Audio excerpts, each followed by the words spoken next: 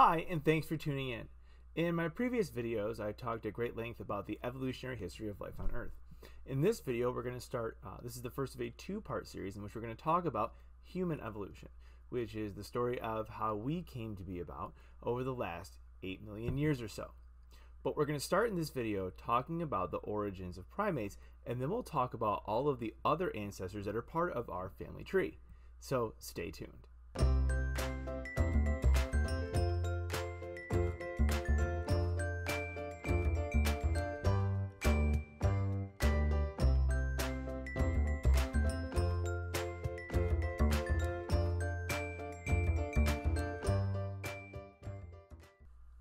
In terms of evolutionary history, ours as a species is a relatively short one. Our species has only been around for about 300,000 years. But the lineage that gave rise to human beings actually is tens of millions of years old. Now, Charles Darwin, in On the Origin of Species, was the first person to really talk about human evolution, but he did so in a very short, succinct way when talking about On the Origin of Species. He said, In time, light will be shown on the origins of human beings. And he kind of left it at that. Part of the reason for this is likely because he knew how controversial his theory of evolution was going to be in the in the public. So to talk about the context of human evolution may have actually been uh, made his book even more poorly received or more challenging to get his evolutionary ideas through mainstream society. Now, some have interpreted this to believe that Charles Darwin himself didn't believe that humans evolved, and that is completely and completely wrong. He talked about it at length in several other places. In fact, Charles Darwin rightly believed that the oldest human ancestors would be found in Africa. And the reason for this is simple because based on morphology, on anatomic similarities, physiologic similarities, humans are apes. And as Darwin rationalized with his understanding of how ancient species live, uh, can be found most likely alongside uh, extant or existing species, well, where would we find the earliest humans? Probably where we find the earliest apes in Africa. Despite this, many early archaeologists started looking for uh, human ancestors in places like Europe and Asia. And of course, they did actually find human ancestors um, found in, in Europe and Asia and throughout the world. However, when we talk about the earliest human ancestors, the earliest members of, of species that belong to our direct family tree, we find them in East Africa because that is where our story begins.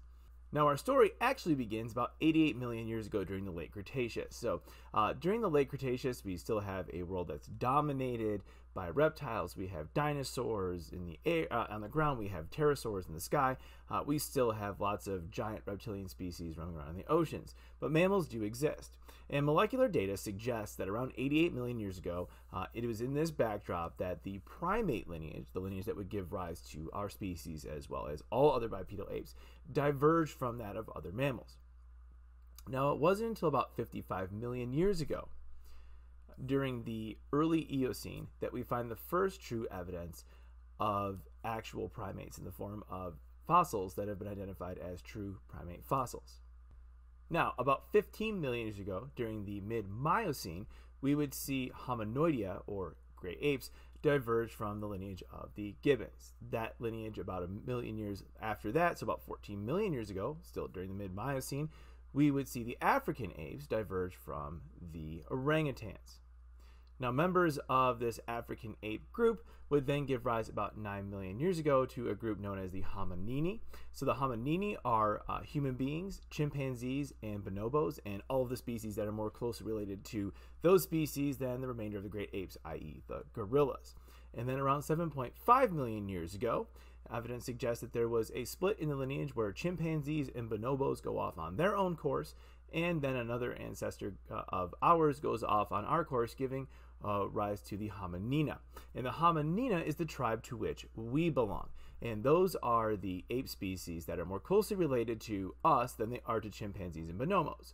Uh, the primary characteristics of that group are uh, a, a, steadily uh, trend towards increasing brain size as well as bipedal walking. So there are several characteristics, both morphological, anatomical, physiological, that that distinguish groups uh, members of the tribe Hominina uh, from the remainder of the apes. As I mentioned, uh, one of the most one, one, of the first ones to actually appear was uh, bipedal walking. So um, while the earliest species were likely knuckle walkers, you know, walking around on two legs but also using their knuckles for support, we start to see changes in the anatomy of these species uh, to a more bipedal lifestyle, eventually reaching full bipedalism uh, a few million years ago. We also see a trend towards increasing brain size. Now, this didn't happen all at once. In fact, it actually lagged behind bipedalism.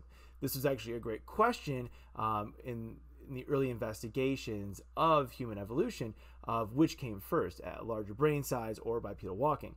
Uh, interestingly, most people were actually on the side of um, large brain size. The thought was that the large brain would come first, and then that would give rise to bipedal walking. Instead, the fossil evidence suggests it was the opposite, because the earliest human ancestors that we see in hominina uh, actually have brain cases that are roughly the size of a chimpanzee. And we really start to see brain case sizes increase in earnest over the last two and a half to three million years. And we'll talk a little bit why that might be the case in just a little bit. So the next question becomes why did bipedal walking appear in the first place? Now, there are lots of different reasons why evolutionarily bipedalism is favored. One of the first is a change in the environment in which our ancestors lived. So, around somewhere between 7 and 10 million years ago, we know that there was an uplifting of the East African area in which the earliest human ancestors are found. And it went from being sort of a jungle biome, a tropical rainforest biome, to being a savanna we go from very tall trees where climbing and moving from tree to tree, brachiating, uh, is very, uh, very important, to being a grassland type environment where um, you know, being a four-legged walker could actually make it challenging. So being bipedal allowed you to actually get your head up and to see over those tall grasses to look for uh, food sources as well as to avoid predators. It also um, one of the things we also know is that bipedal walking is actually significantly more energy efficient in a savanna type environment, you're not going to be relying on moving from tree to tree, nor are you going to have food that's as plentiful. So there might have to be more searching that goes on to find food. So bipedal walking actually reduces the energy expenditure needed to, to move from place to place. It also has the benefit of actually being more intimidating. So, when you're living in an environment full of hostile predators, being bigger can actually deter predation. So, one of the things they'll tell you in some cases, if for example, you're targeted uh, by a wild animal, some of the things you can do to defend yourself is actually to be big and loud and look scary. Predators will think twice when they think they might actually have to have a fight in order to get their food because if they get harmed, that could impair their ability to actually survive. It also freed the hands to do stuff. So early on, hands were used for climbing. However, one of the things that freed hands allows uh, an individual to do is to do other tasks. For example, to gather low hanging fruit or grab, uh, gather fruit from the ground and carry it while walking on two legs. It would eventually allow the young to be carried. So you could actually carry your young in your arms as opposed to on your back, which allows you to do other things uh, while walking and making it easier to move with your child. Another thing hands were good for eventually was for utilizing tools. So we'll see in some of the earlier human ancestors that tool use was actually quite common.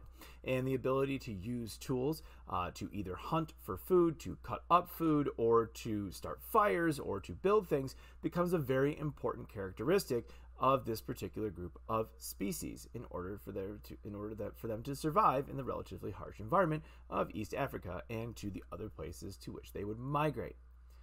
Being bipedal also reduces your profile. Remember, savannas are hot, sunny, dry places. One of the ways to protect from losing heat, from being damaged by the heat, is to be bipedal. If you think about what happens on a summer day uh, when you're standing around, it's nominally your head and your shoulders that take the brunt of the solar damage in those situations, which is why it's important to put on sunscreen in those particular areas. If you're a quadruped, if you're walking around on four legs, it's actually a large proportion of your body your head, your neck, your back, the backs of your legs. All of those things are actually exposed to the sun. So, being bipedal actually reduces your profile. It reduces your exposure to the sun, which could also help to keep you cooler and protect you from being damaged by the sun's harmful rays. So, bipedalism could have evolved from any one of those particular selection pressures, or most likely a combination of all of those selection pressures working together to favor a more and more bipedal lifestyle for the early human ancestors. Of course, bipedalism didn't come freely. It required a number of adaptations to occur within those species that were formerly walking around on four legs, and now we're going to be walking around on two. So, one of the early adaptations we're going to start to see is we're going to start to see a strengthening of the knees and of the ankles. So if you're going to be carrying your full body weight on two limbs as opposed to four, those limbs are going to have to be more robust. So one of the things we start to see is a strengthening of where the ankles are, where the knees are, and also towards the top of the long bones, like the femur and stuff. They're going to start being a little bit stronger because they're going to be carrying the full animal's body weight on just two limbs instead of four. There are also going to be changes to the length of those bones. Uh, what we start to see uh, as we as we as a general trend in this particular group of, of species is we start to see a gradual lengthening of the legs and a shortening of the arms. If you're not going to be walking in a tetra in a, in a quadrupedal fashion, uh, there's no reason for the limbs to be of equal length. In fact, it's beneficial to have longer legs, which are being used for movement, and shorter arms, which are being used to grasp things, use tools, climb, and so on and so forth. This didn't happen all at once. None of these anatomical changes happen all at once, but we start to see it as a growing trend. We also start to see some changes in the pelvic structure. We're going to start to see where uh, differences in where the leg bones connect. So rather than having sort of a wide, broad pelvis, we start to see the pelvis take on more of a bowl shape in human beings. We're going to see the top sort of widen and flatten out, and this is going to allow the femur uh, heads to attach at a subtle angle. This subtle angle is going to start to shift the body weight underneath uh, the center of mass as opposed to being sort of out the back like we see in quadrupeds. Uh, this, of course, is going to actually change some things as well. This bowl shaped pelvis is going to be wider at the top but narrower at the bottom. This gradual change does have the benefit of making the center of gravity more conducive to bipedal walking. The downside is in females, it's actually going to cause uh, it's actually going to cause the birth canal to shrink. Uh, this is going to be even more problematic in our lineage, as at a certain point, heads are going to start to get bigger. So we have a smaller birth canal, but a bigger object that needs to make it through that birth canal.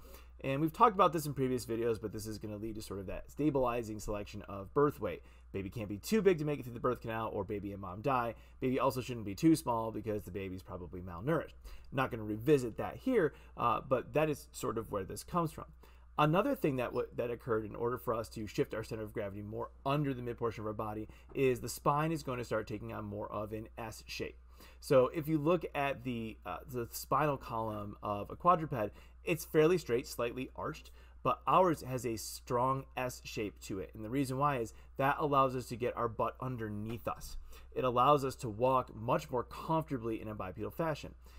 Now, a lot of these compensations um, aren't great, and the fact that we carry all of our body weight on on two legs, the fact that our spine sort of curves underneath us, this is actually a source of pain in many individuals later in life because, quite simply put, even though they've been reinforced and they're strengthened, they're not perfect structures. They're good enough to help us walk better, but it doesn't preclude us from developing pain uh, later on in life as a result.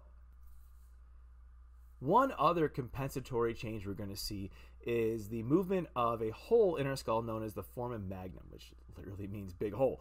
Um, this is where the spinal column actually connects to the brain. So this is where your spinal cord runs up through uh, your skull.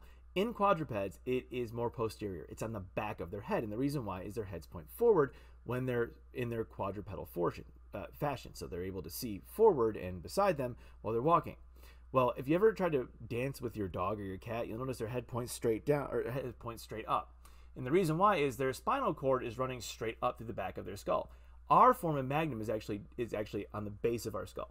It allows us to get our head on top of our shoulders as opposed to pointing upward like we would if it were mo- more posterior. So what we start to see in these quadru- in these in these bipedal species is a gradual movement of the foramen magnum from the back of the skull more anterior towards the for- forward portion of the skull until it's resting straight underneath our head, allowing our head to sit on top of our shoulders, which is much more conducive to bipedal animals than it would be to a quadrupedal animal.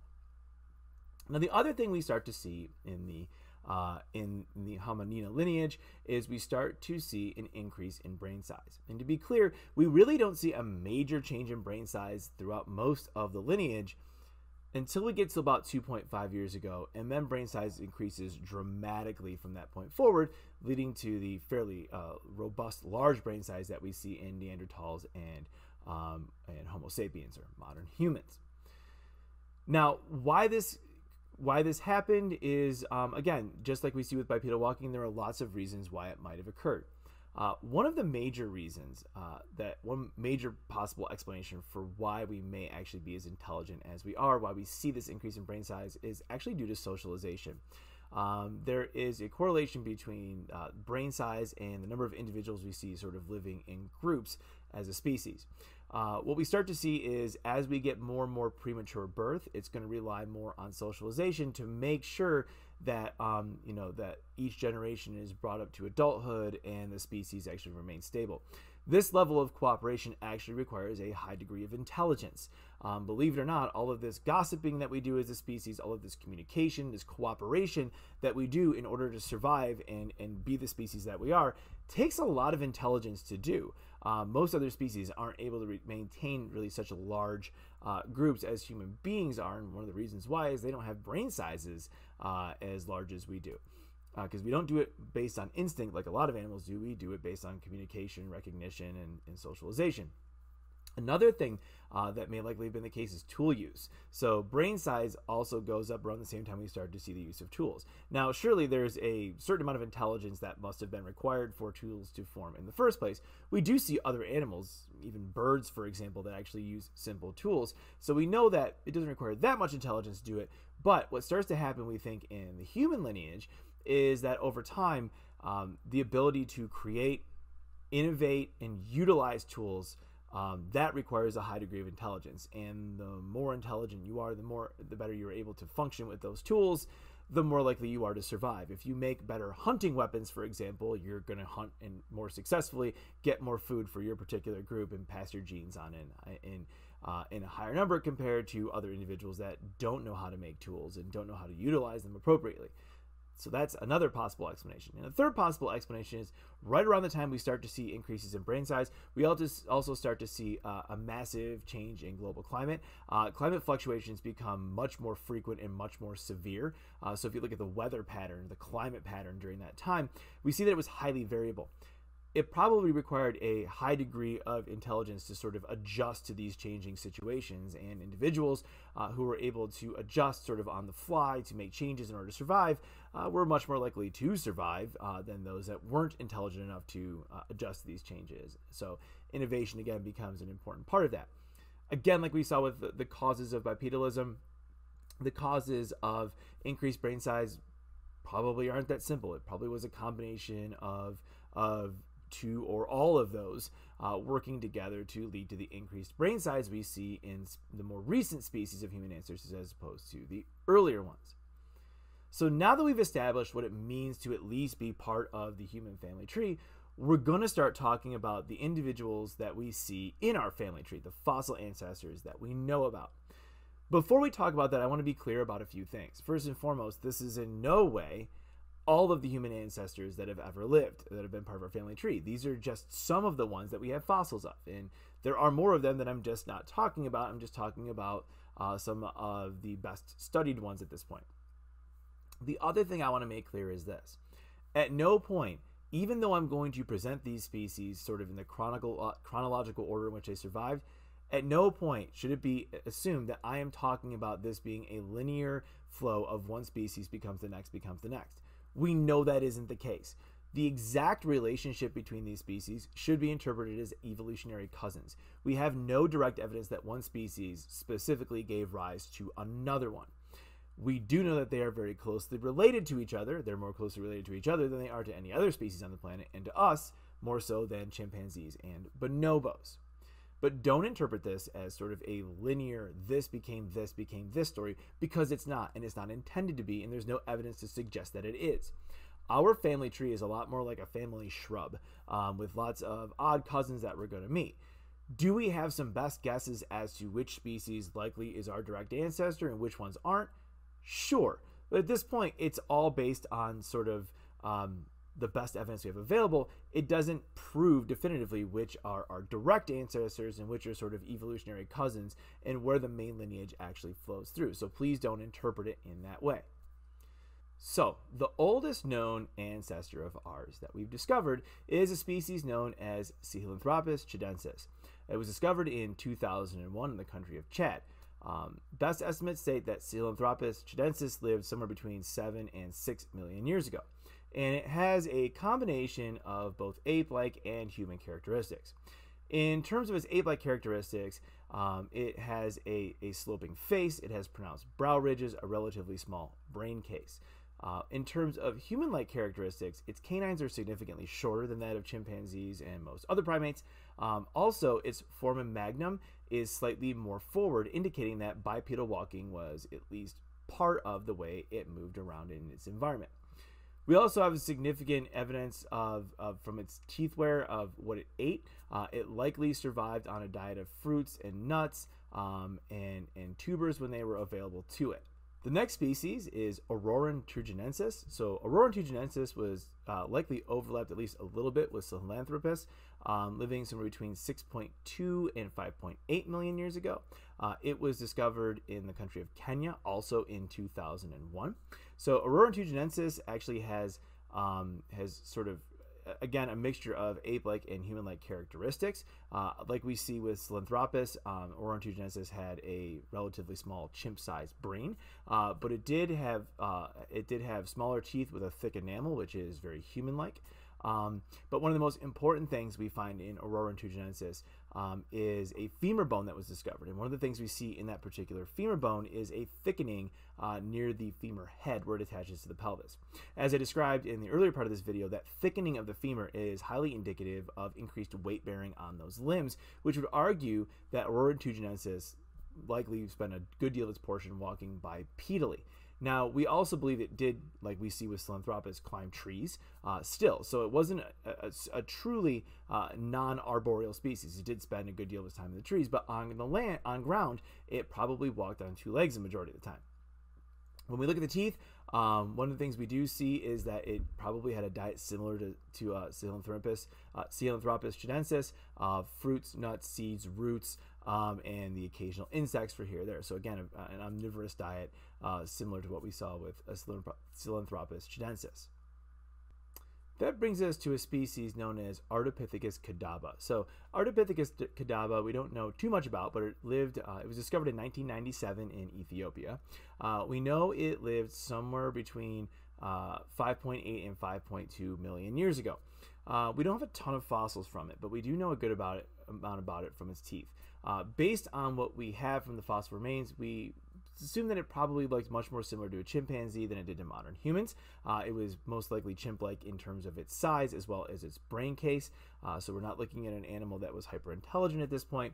Um, what's interesting is when we look at its teeth wear, it did not have a diet similar to the previous two species. Um, its teeth wear uh, seemed to indicate that it likely survived on a more fibrous diet, roots, uh, nuts and things like that, as opposed to the softer diet that we see in chimpanzees of leaves and fruits and the like. That brings us to Ardipithecus ramidus, which lived about uh, 4.4 million years ago. Uh, its fossils were discovered in Ethiopia in uh, 1994. So Ardipithecus ramidus actually, uh, based on its fossils, looks significantly more like humans than it did than did many of the other earlier ancestors. Um, one of the things we do see with its um, with its foot bones is interesting. It did have a divergent big toe. So when we talk about a divergent big toe, we're kind of talking about what we see like with our thumb. Our thumb is divergent from our hand, and in many chim- and in chimpanzees, uh, their feet look very similar. It makes it easier for them to grab branches with their feet. There's also a break in the foot that allows their foot to bend like our hands do. Note that our hand, our feet don't do that. We don't, we can't fold our feet over for grasping um, like we can our, our hands we see that very similar foot bone structure in this particular species, likely indicating that they weren't able to grasp branches with their feet like chimpanzees could.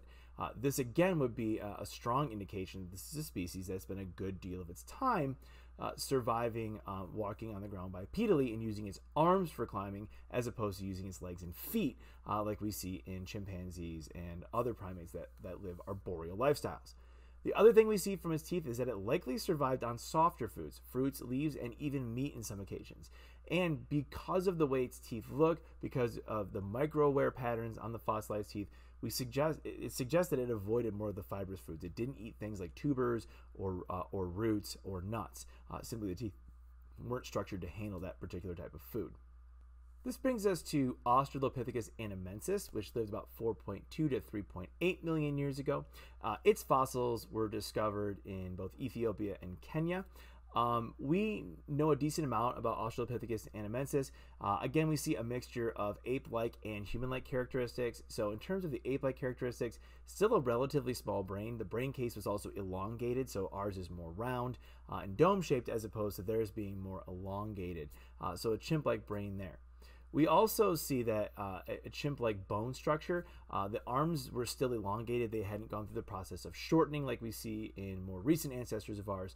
Um, and we start to see and we have wrists that are articulated in a way that we're making them good for climbing however when we look at the lower appendages when we look at the the legs and the feet uh, we start to see some indication that this again is a bipedal animal that was less adapted for climbing with its lower limbs one of the big indicators there is the ankle the way the ankle attaches to the foot is much more indicative of a species that was using its feet and legs for walking as it was for climbing did it spend a significant portion of its life in trees yeah, of course it did. So did many of our earlier ancestors. But when it was on the ground, it was likely walking in a more bipedal fashion. At least that's what its bones tell us.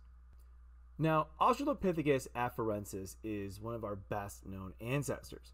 Um, its type species, known as Lucy, is one of the uh, most profound uh, uh, examples of, of a fossil find uh, from one of our earliest human ancestors. Um, Australopithecus afarensis existed. Um, its fossils are found in Ethiopia, Kenya, and Tanzania. Um, and it lived somewhere between 3.85 and 2.95 million years ago. So you can kind of, if you're starting to look at these timelines, see that quite often many of these species coexisted with each other. Australopithecus afarensis is one of our best studied ancestors because we have over 300 different individuals belonging to this species that have been discovered.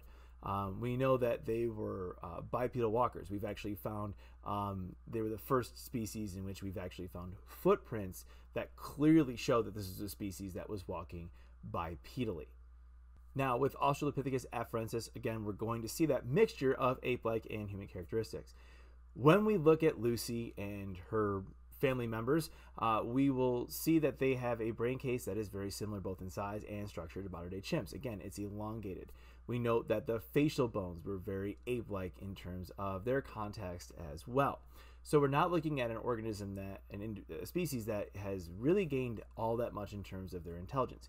We also know that in terms of its developmental timing, uh, that it really didn't have that shortened development period like we typically see uh, in more recent human ancestors as well, indicating that socialization wasn't necessarily, they probably didn't survive in these huge groups. There wasn't that need for um, a social structure to help uh, raise these underdeveloped children. In terms of human characteristics, we're going to look at the teeth. So again, they're going to have the shorter canines. They're going to have the smaller teeth with the thicker enamel. We also see in terms of human characteristics, again, when we look at the legs and the feet, this is an animal that was truly adapted for bipedalism. Does it have the bone structure and the upper appendages to indicate that they were good climbers? Absolutely. So it does have that ape like ability to climb trees, to have a strong arboreal lifestyle. But we have actual footprints of this species walking bipedally. And we can actually see uh, that while it did walk bipedally, its gait wasn't quite as similar to ours. It hadn't quite evolved that perfect bipedal gait that we see in humans at this point. So again, we're looking at a species that is sort of right in between in terms of ape-like and human-like characteristics. In terms of its diet, it seems to have a diet similar to what we've seen in some of the earlier species. It ate both soft and hard foods. Um, it likely is the case that um, you know fruits, leaves, vegetables, uh, maybe meat in some cases, uh, but it would also have some fallback foods and be able to eat things like new, uh, nuts and roots and tubers uh, if that was available to them as their only food source. So Australopithecus africanus actually existed at the same time as Australopithecus afarensis. Uh, it lived between 3.3 and 2.4 million years ago. Uh, so Australopithecus africanus has a lot of anatomical similarities with Australopithecus afarensis. However, while we do see sort of similar body plans in terms of the upper and lower appendages, we see an upper body that was still adapted for being able to climb very well. Uh, we see a face that is is very similar in structure to chimpanzees more so than humans. We see the lower limbs are well adapted for bipedal walking, but we start to see in this particular species uh, a larger brain case. So when we look at the brain of Australopithecus africanus, it's slightly bigger than we see in Australopithecus afarensis. Do we know that means it was more intelligent? We don't. We can't necessarily say that. But one interesting thing is that Australopithecus africanus is our oldest known ancestor to actually leave East Africa. If you look at where we've found every other species, it's predominantly in this East Africa region Chad, Kenya, Ethiopia, Tanzania. Australopithecus africanus was actually first discovered in 1924 in South Africa. So it's the oldest known species to migrate out of that, that northeast African area of the continent and move south into South Africa. So while we start to see a slightly larger brain case, we're still seeing a body plan that really is sort of that half that half human like, half ape hybrid in this particular species. Uh, again, its diet was a mixture of soft and hard foods, leaves, um, you know, fruits, um, but also nuts and tubers. And we also think, like Australopithecus afarensis, that meat was at least a small part of its diet, likely in the form of small invertebrates or insects in the case of this particular species. Now, Australopithecus, garhi is an interesting species. It lived about 2.5 million years ago. Um, and what's interesting about Australopithecus garhi is we see some unique adaptations um, that we see really first in this particular species. First and foremost, uh, we do see that it still has that robust upper body, uh, which would have made it very well adapted for still climbing trees. However, it's in this species that we start to see uh, lengthening of the leg bones. So we're starting to see that lengthening of the lower appendages um, without the shortening of the upper appendages, but that's going to start allowing for a better bipedal gait, better bipedal walking um, with the longer legs, so they're more efficient in their movement in this fashion. The other really cool thing about Australopithecus garhi is it's the first species in which we find evidence that they may have actually been using tools. Now, to be fair, these tools are simple hand axes made out of stone, uh, but they are found near the fossil finds of this particular species. And the other thing we find are uh, bones that do appear to have some indication of butchery, which indicates that tools were used on them. It had been believed uh, for a long time that Homo habilis, or the handyman, uh, was the first known species to actually use tools within our lineage. However, it now seems that Australopithecus garhi may have been that first species, uh, at least 500,000 years earlier uh, than Homo habilis may have been able to do that. Australopithecus sediba is a very interesting species. It's known from a single find. Uh, we know it lived about 1.98 million years ago, and we can be so specific with the date because our evidence of this species comes from a single find in a cave in South Africa that was discovered in 2008. What's interesting is the individuals that were part of this species, the remains uh, were so well preserved that we have a tremendous amount of detail. Uh, we have these amazing fossils, for example, of their hands and of uh, many of their other bones. So we know a lot about what this species looked like and how it likely behaved. Uh, what's interesting about Australopithecus sediba uh, is that we see a uh, we see that it had very human characteristics in many ways, in terms of, for example, in terms of its teeth and its facial structure. Uh, the other thing we do note is that it had a relatively small brain case, so it wasn't particularly hyper intelligent at this point, uh, bigger than some of the earlier ancestors, but nowhere near what we see in members of the genus Homo. Uh, the other cool thing we see is while it did have um, the, the narrow chest and the elongated upper limbs, uh, we actually see we can look at its pelvis and see that the attachment points of the of the of the femurs to the pelvis are very very similar to what we see in modern day humans.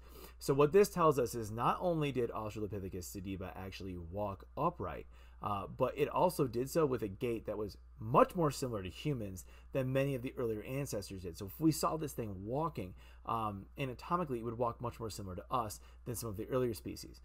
The other thing that's interesting though is that it had this sort of unique walking pattern where it would walk mainly on the outer portions of its feet as opposed to the inner portions of its feet like we do. So they really kind of walked around the outer edges of their feet, which is uh, kind of interesting, very different from the way we walk in that case. But the way its legs would articulate uh, and move during walking would be very similar to what we see in ours.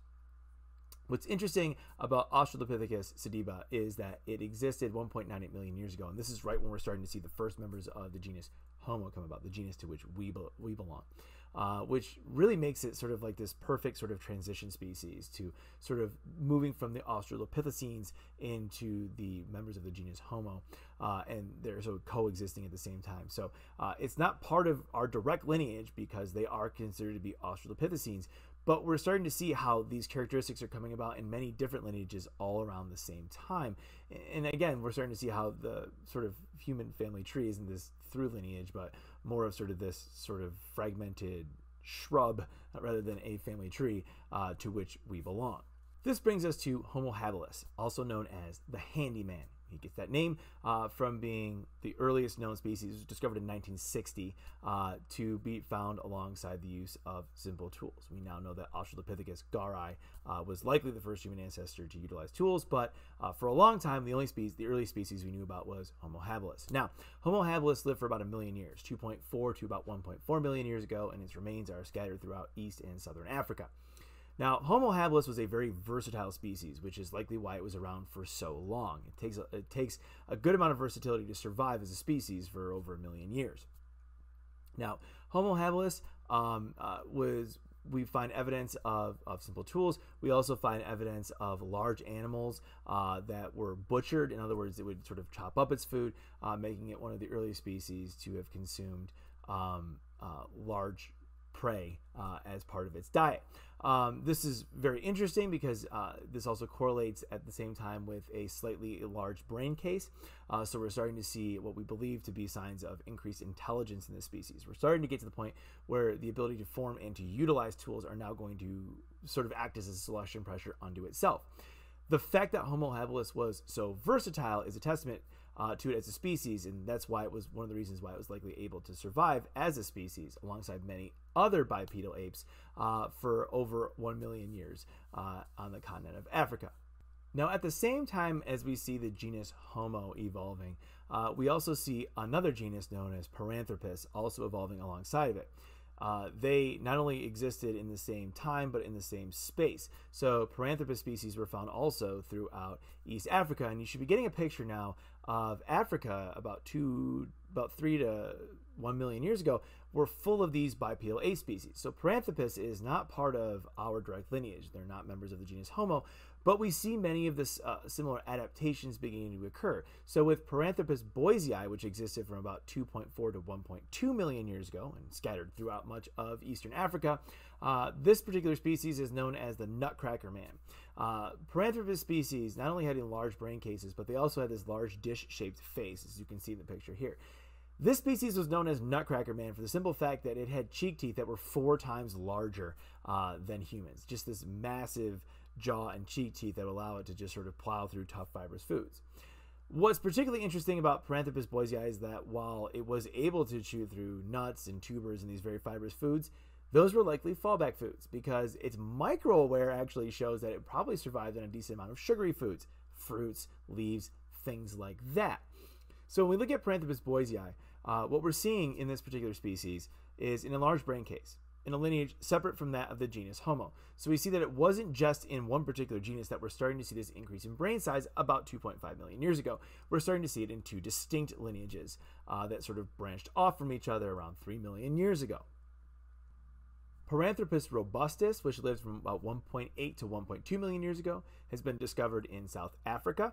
So, uh, Paranthropus robustus, very similar uh, to Paranthropus boisei, uh, not quite as uh, the teeth weren't quite as large, but again, we see that dish-shaped face. Uh, we see the pronounced sagittal crest, so that bony protrusion at the top of the, the skull that we see in Paranthropus boisei as well. Uh, this is there to help anchor those massive jaw bones that we see from that that are found in this particular species. Uh, while we do see an enlarged brain case, we don't find evidence of the use of stone tools. Interestingly, though, uh, there are some bone fragments that appear to have been worked a little bit, uh, which seems to indicate that this may this species may have used um, bone tools, for example, to uh, harvest termites and stuff from termite mounds uh, that were found in this particular region. So Paranthropus robustus, uh, again, in a large brain case, um, but we're not seeing stone tool usage in this particular species. Again, we do have those large teeth, not as big as Paranthropus boisei, but this is a species that could utilize um, you know hard rough food uh, when it needed to but again might have been fallback foods because microwear seems to indicate that these teeth were again utilized predominantly for eating softer foods fruits nuts meat uh, leaves and that type of stuff this brings us to Homo rudolfensis. So Homo rudolfensis is another interesting species. We know it lived somewhere between 1.9 and 1.8 million years ago at least. But what we know of Homo rudolfensis is known from a single fossil. What's interesting about that fossil, though, is that it shows that this particular species had a very large brain case. Uh, we see a brain case that is actually significantly larger than that of Homo habilis. This is one of the reasons why we know Homo rudolfensis is a distinct species from Homo habilis, despite being found in a similar area. Uh, so we're looking at a species that is its own unique species, but again, we're starting to see that trend towards a larger brain case in this particular individual. About 1.89 million years ago, we start to find the first fossilized species of Homo erectus. Now, Homo erectus is the first species that we're talking about that actually overlapped with modern humans. Homo erectus survived until about 150,000 to 100,000 years ago. In other words, early Homo sapiens, in fact, lived alongside of Homo erectus. Now we know a good deal about Homo erectus. Homo erectus is the first species that we've talked about that also has modern human proportions to it. Some of these individuals grew to be over six feet in length. We see the shortened arms and the elongated legs in this species. We see a significantly larger brain case. We see them appearing to be much more human in terms of their teeth and their facial structures. Homo erectus is the first species that we're really talking about where if you looked at it, you would start to think that this is definitely a species that could be considered to be a man.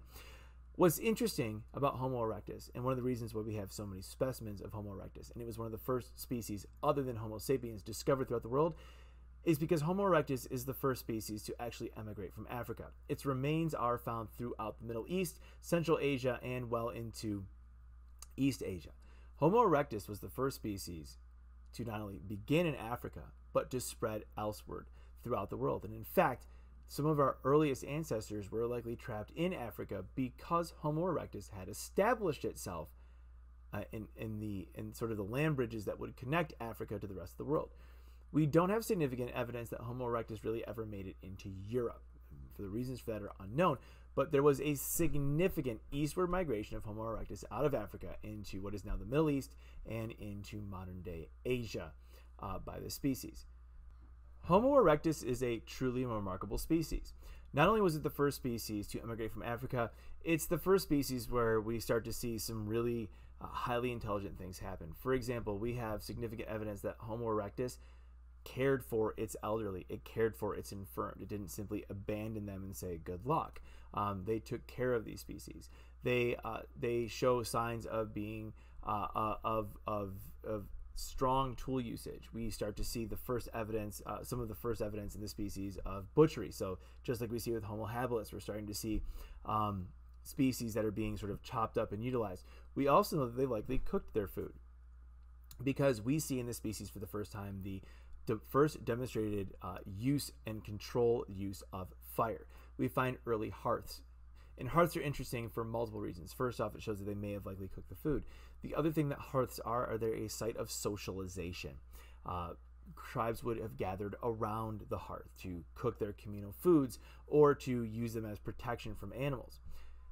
Both this plus the care for their elderly and infirmed indicate that there was a high level of socialization around the species Homo erectus. And this is likely directly caused by or related to uh, their significantly large brain size and their high levels of intelligence. In fact, in order for them to be able to move out of Africa, that would have required a, a significant amount of social social gathering to be able to do that. You can't do that in small groups. You need to have communication. You need to be able to do that.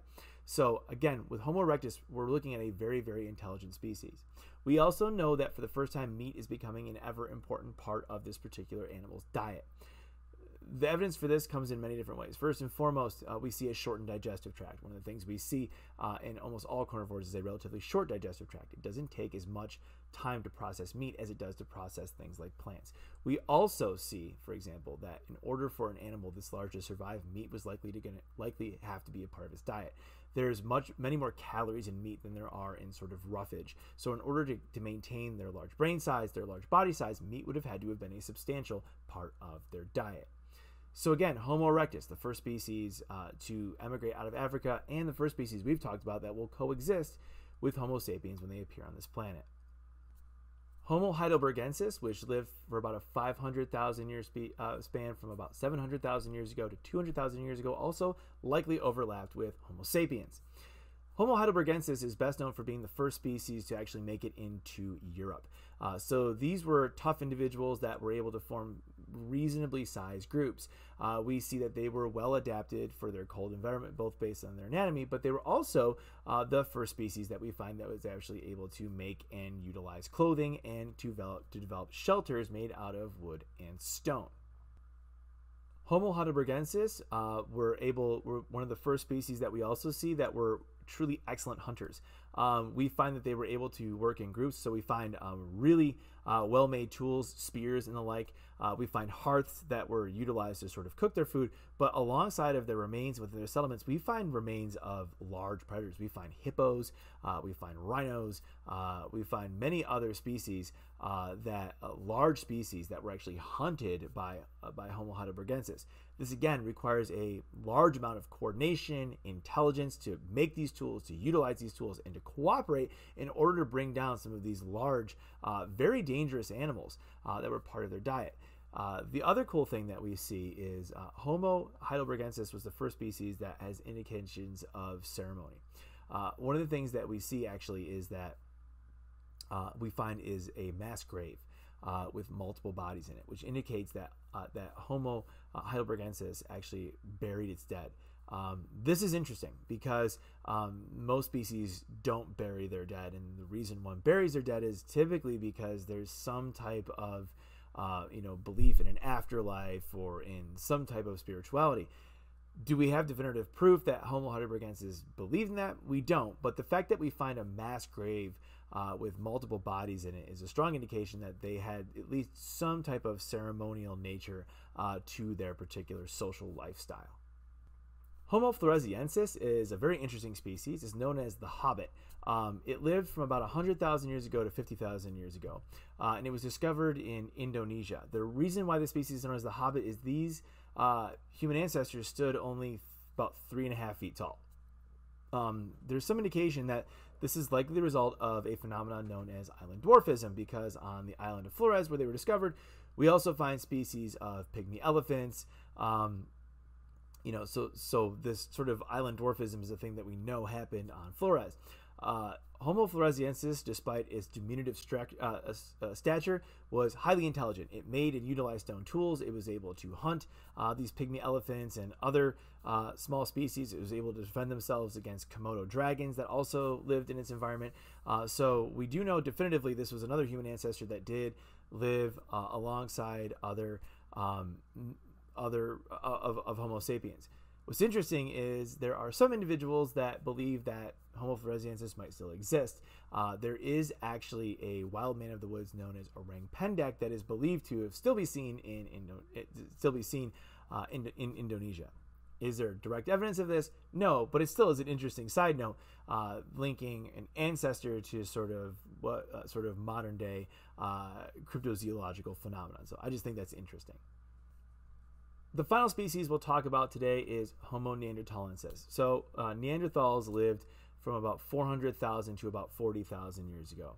Uh, like we see with uh, the species that we've just spoken about, this is a species that overlapped with Homo sapiens and even overlapped with what we would consider to be modern humans.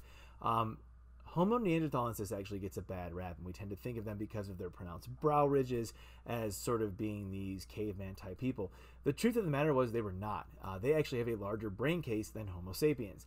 Now, this is where we start to see that just because you have a big brain doesn't mean that you're hyper intelligent. Now, to be clear, Neanderthals were very intelligent species. They not only made and utilized tools and wore clothing, they have demonstrable evidence of sort of having sort of ceremonial uh, nature. When they buried their dead, they buried them with trinkets and uh, other things sort of associated with their lives. So, uh, ritual and ceremony seem to be part of their social structure.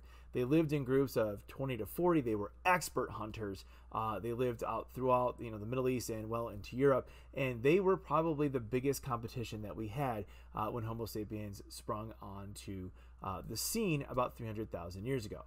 Now, Neanderthals were not only skilled hunters on land, there's evidence that they were likely the first species to also harvest food from the sea. So, again, we need to dispel this myth of Neanderthals being these sort of non intelligent individuals. What's also interesting about Homo neanderthalensis is that there's strong evidence that this was also a species in which we interbred. So, uh, one of the things that's been very interesting as the Human Genome Project has moved forward, people are able to sequence their own DNA. the relative recency of, uh, of the recentness of these finds, we actually have Neanderthal DNA that we can compare to human DNA. And one of the things that we find is most humans have somewhere between 1%, 1% and 3% Neanderthal DNA in their own genome. So, what that tells us is that Neanderthals are so similar to modern day humans that interbreeding was actually possible. Now, what happened to all the Neanderthals? Well, that's a subject for another video. So, that's the end of our little journey uh, that we're going to talk about in terms of going through uh, our human ancestors. Uh, we'll pick up with what it is to be human and Homo sapiens in my next video, so I hope you'll stay tuned. Thanks for tuning in today. I hope you learned a lot about what our human ancestors looked like. Um, like I said, this wasn't every single human ancestor that we know about. And again, please don't misconstrue this as some sort of linear story of, you know, Sahelanthropus tchadensis up through modern day humans. We know that that's not necessarily the case. Uh, but we can start to see the overall patterns of increasing brain size and changes to the anatomy of human ancestors giving rise to the body plan that we have today. In my next video, we'll talk about what it means to be a Homo sapien what defines us separate from the remainder of these species and what being human truly means. I hope you'll stay tuned. Thanks for tuning in.